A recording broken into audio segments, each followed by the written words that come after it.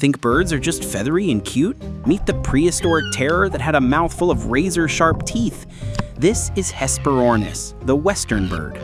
80 million years ago, it wasn't dodging cats. It was dodging giant sea monsters like mosasaurs in the seas that covered America. But it had a secret. It couldn't fly a single inch.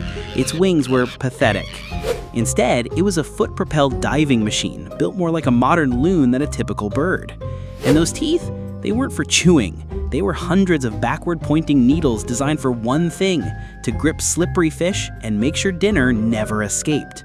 The discovery of this toothed bird was a bombshell. It became a key piece of evidence for Charles Darwin, proving the evolutionary link between ancient reptiles and modern birds. So Hesperornis wasn't just a bird with teeth, it was a flightless superdiver and a scientific legend that helped prove evolution. What a creature. Which extinct beast do you want to see brought back to life next? Let us know in the comments.